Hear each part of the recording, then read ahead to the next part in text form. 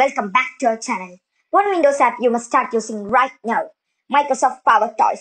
It is a set of ultimate tools for Windows that adds additional features and functionality and makes it a super computer. It is available as a free download